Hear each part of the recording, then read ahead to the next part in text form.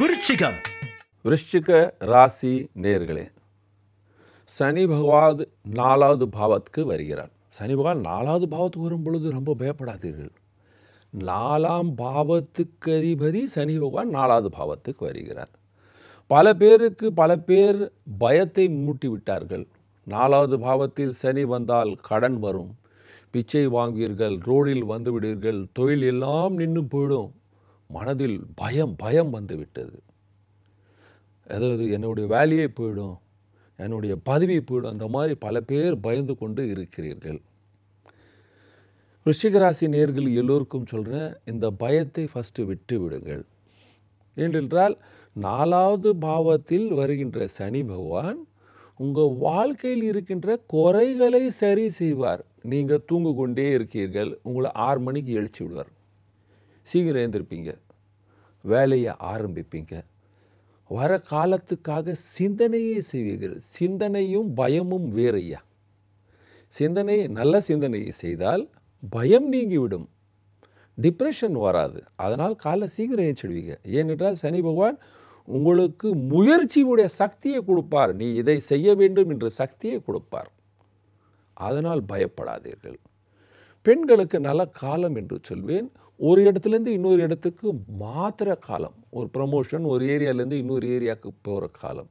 வெளிநாட்டு வியாபாரம் commission agent broker agent ஒரு வக்கீல் ஒரு ஜோசியர் அந்த மாதிரி யாராவது இருந்தீங்கன்னா நீங்கள் ஒரு ஆஃபீஸை இன்னொரு இடத்துலேருந்து இன்னொரு இடத்துக்கு மாற்றுவீர்கள். அதாவது இன்னொன்று சொல்லியிருக்கீங்க.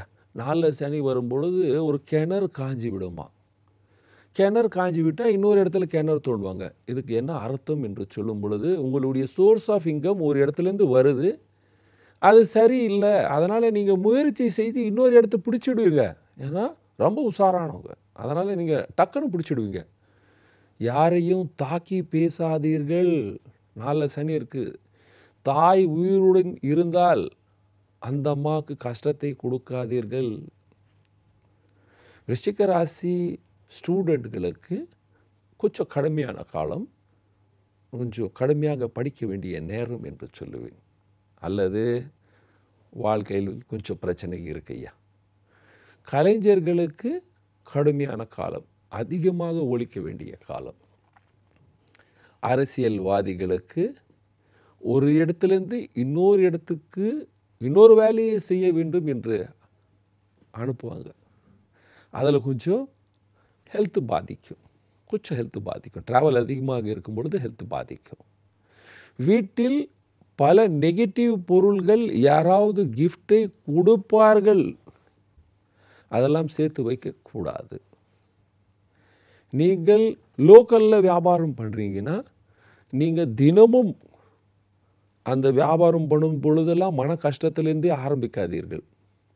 அல்லது மன கஷ்டம் இருக்கும். ஒரு இடத்துல வியாபாரம் நடக்கலை என்று பயப்படாதீர்கள்.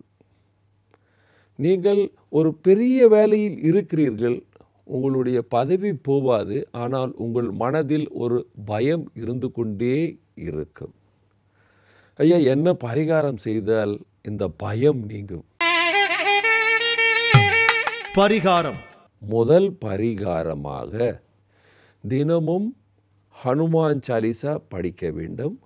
ஆஞ்சநேயருடைய ஸ்துதி செய்ய வேண்டும் ஆஞ்சநேயருடைய நாம ஜபம் செய்ய வேண்டும். ஆஞ்சநேயருடைய நாம ஜபம் செய்தால் ரோகரணம் எல்லாமே உங்களை விட்டு விலகிவிடும். பசு சேவை தினமும் செய்ய வேண்டும். சனிக்கிழமை காக்காக்கு எள்ளு சோறு வைக்க வேண்டும். அரச மரத்துக்கு தண்ணி விட்டு அங்கே ஒரு தீபத்தை ஏற்றும் கொஞ்சம் ஒரு தண்ணி எடுத்துகிட்டு போயிட்டு அந்த தண்ணியை விட்டுட்டு அங்கே ஒரு தீபம் ஏற்ற வேண்டும்.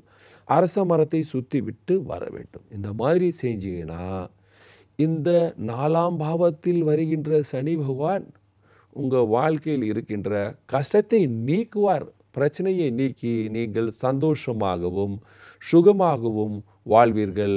நன்றி வணக்கம்.